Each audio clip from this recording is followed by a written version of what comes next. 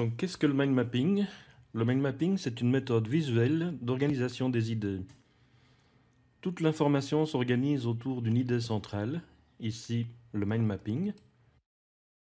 Sur la feuille disposée en format paysage, on organise l'information sur des branches qui se lisent à partir de 13 heures sur le cadran d'une horloge imaginaire de la première branche rouge à droite en haut jusqu'à la dernière branche à gauche en haut, la branche orange. Le mind mapping est une pensée rayonnante. En effet, on part du centre de la feuille pour aller vers les bords de la page. Plus on s'éloigne du centre, plus on va vers le détail, vers l'accessoire, vers le secondaire. En mind mapping, on associe des mots-clés, des images ou pictogrammes. On utilise aussi une disposition spatiale particulière sur des branches on utilise de la couleur et aussi des liens. Nous allons voir tout ça en détail.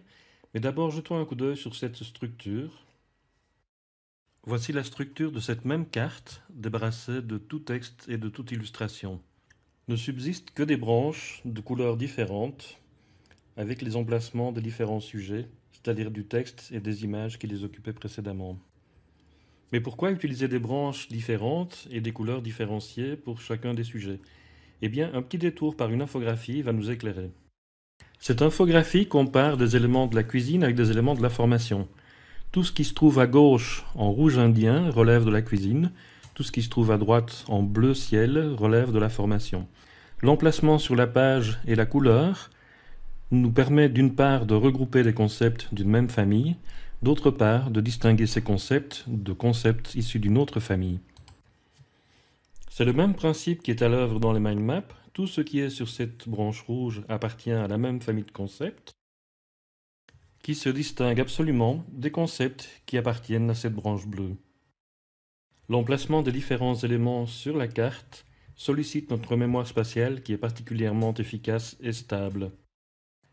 Le mind mapping utilise aussi des liens comme cette flèche qui montre que l'on part effectivement du centre de la carte vers les bords de la page.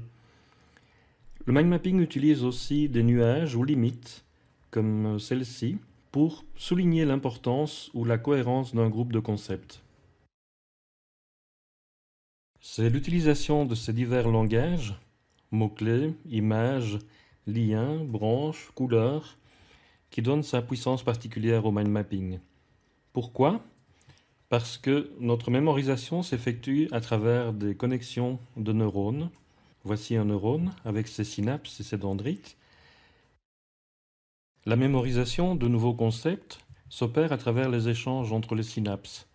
Or, le mind mapping, avec ses différents langages, va cultiver la création de connexions neuronales multiples, celles qui ont trait au langage, aux images, aux couleurs, aux emplacements spatiaux, etc. Une autre caractéristique très intéressante du mind mapping est sa capacité à évoluer d'une vision globale, où toute l'information est disposée sur une seule feuille, au détail le plus minuscule, mais aussi le plus significatif. C'est-à-dire qu'on allie à la fois la vision globale, une vision synthétique, à la vision du détail, une vision analytique.